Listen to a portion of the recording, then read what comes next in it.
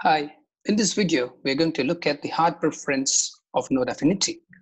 So this option is required during scheduling, ignored during execution. We are going to make use of this option to show how we can specify hard requirements and a pod to, to go with a particular node.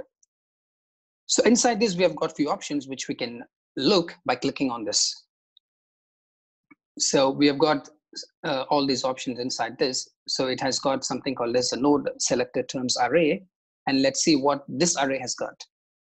We have the match expressions, which is used for label selections. And we also have match fields. For this exercise, we'll go with the match expressions option. So let's get into the CLI terminal where I've got a cluster, a Kubernetes cluster. So this is the master to which I'm logged into right now. Let's look at the number of nodes and the labels on them as well.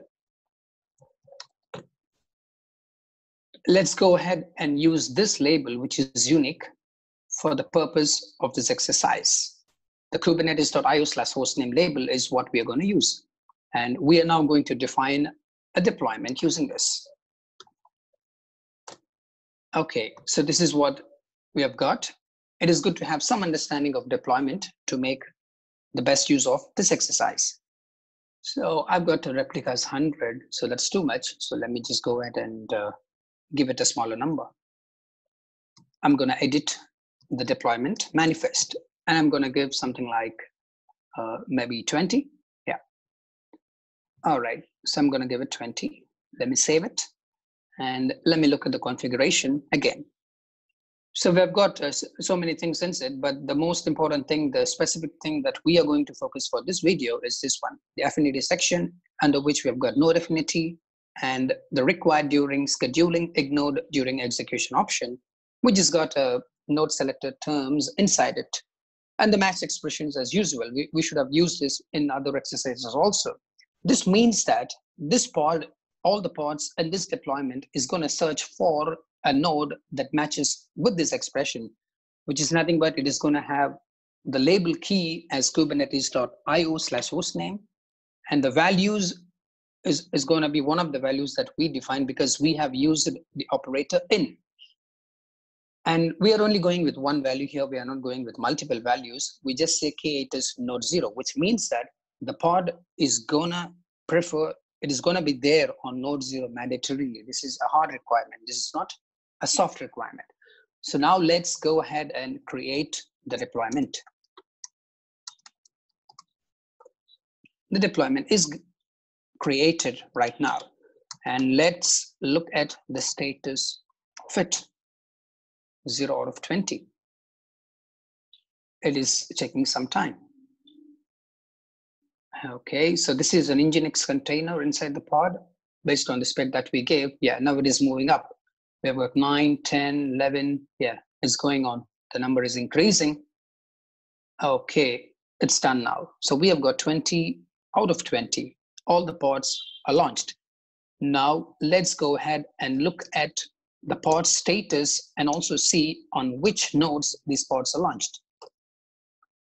All of them are on node 0 so this is why we call it as a hard requirement the pods are not going to choose any other because we say this is what we need. We, we are telling it specifically, and we are going to make this requirement hard. So it has to get launched on node zero, node the choice. Okay, if at all we wanted to see the count of it, we could uh, use the, we could just grep it first. Okay, so let's try to filter only node zero. Anyway, we only have node zero this time, so there's no other node. So we're going to get everything. Okay. So I think I have not used the O flag, which I have to use. Okay, yes. Now it should all be working. And if at all I had to grep it, I mean, and then I use the WC command to look at the number of lines, we get 20. So all the 20 lines, all the 20 pods are launched on node zero. So this is how the hard requirement, the hard preference of node affinity works. Now let's go ahead and do the cleanup. Delete the deploy. I think we have created 36. Yes, so this is what we have. We can look at the prefix of each of the pod and we come to know that the deployment's name is deploy 36. Deploy 36, yes. We have now, okay, we have to specify the object type also, which is nothing but deploy in short or deployment. We have deleted it. We shouldn't have anything now. It's cleaned up. It's terminating. All the pods are getting terminated.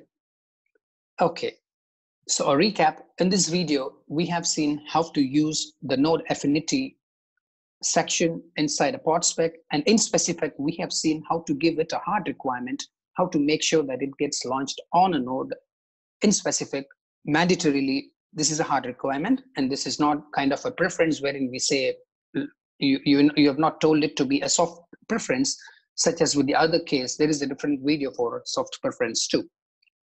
Hope this video was helpful and thank you for watching.